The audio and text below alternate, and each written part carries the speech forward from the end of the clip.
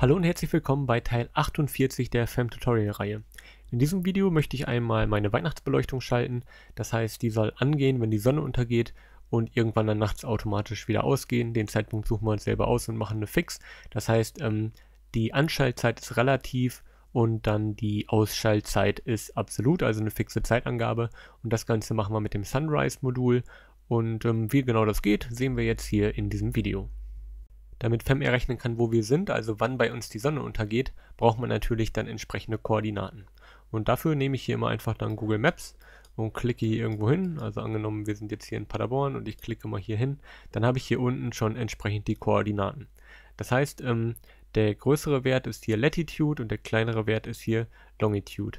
Und die trage ich dann entsprechend ein. Das heißt, diese 51,72 irgendwas Grad und die 8,75 Grad kopiere ich mir jeweils separat, gehe dann in das Global Device von FEM und trage hier in die Attribute Latitude und Longitude ähm, dann entsprechend die Werte ein. Das habe ich hier bei mir schon gemacht, deswegen sieht das hier entsprechend schon so aus. In FEM können wir dann testen, ob das richtig funktioniert, indem wir hier in geschweiften Klammern einmal die Funktion Sunset aufrufen. Dann drücke ich einmal Enter und da kommt jetzt hier am 5. Dezember, kommt hier 16.56 Uhr äh, raus und 31 Minuten. Das klingt dann erstmal relativ spät, weil hier gibt es verschiedene Angaben, ja, wann die Sonne denn wirklich untergegangen ist. Wenn man sich die Common Drive anschaut, sieht man hier auch die verschiedenen Werte. Das heißt, es gibt Real, Civil, äh, Nautic und Astronomic und man kann auch eine eigene Zahl angeben äh, mit Horizon gleich.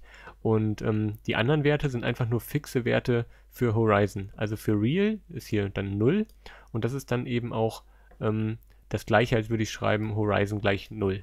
Und das gleiche ist hier mit Civil, äh, das ist dann halt minus 6, also könnte ich auch Horizon gleich minus 6 schreiben, würde dann entsprechend ähm, dann Civil entsprechen. Und ähm, das können wir einmal ausprobieren. Wenn wir nichts übergeben, also einfach nur hier leer, dann zählt Civil. Also Sunset müsste das gleiche ergeben wie Civil. Genau. Wenn ich jetzt hier Real sage, dann ist das schon um 16.10 Uhr. Das liegt daran, dass Real 0 ist.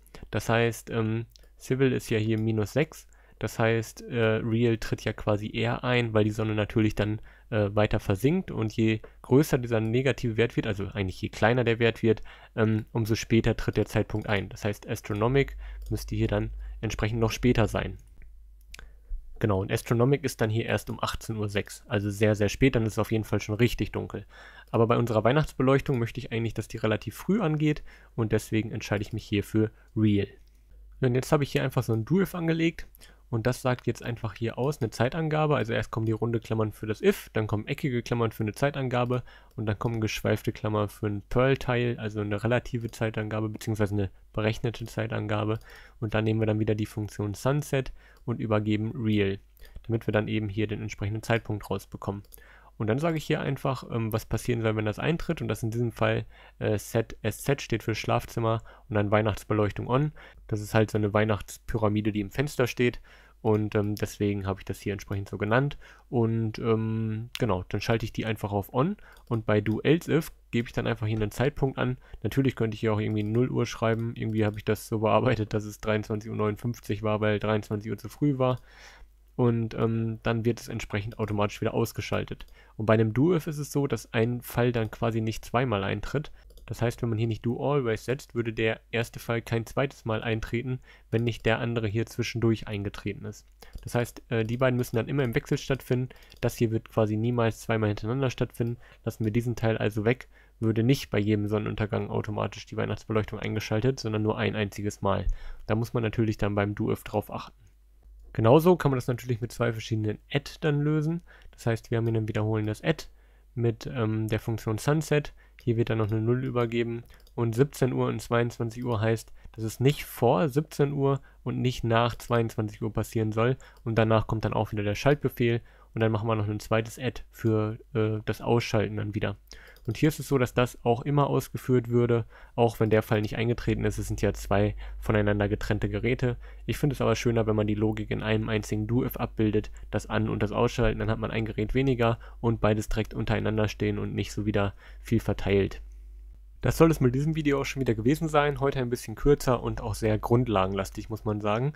Wer dazu mehr wissen möchte, also wem diese Grundlagen noch Schwierigkeiten machen, der kann gerne in meinem FEM-Kurs vorbeischauen.